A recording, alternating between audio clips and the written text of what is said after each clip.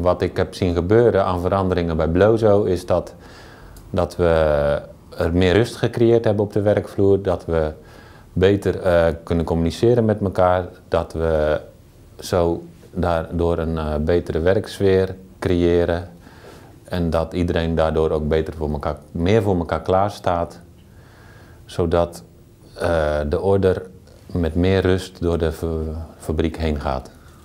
Nou, ik ervaar dat zelf. Ik werk op de logistieke afdeling bij Blozo. En voorheen moesten wij constant trekken aan de orders. Komen ze wel op tijd? Uh, gaan, we, gaan we het wel redden? Uh, en dat is nu veel minder. Het is, de, de, de flow is veel beter. We merken dat dat getrek is minder, dat merken we. En daardoor uh, is er dus meer rust. En komen de producten bij het logistiek makkelijker aan, zodat we eerder op tijd kunnen leveren.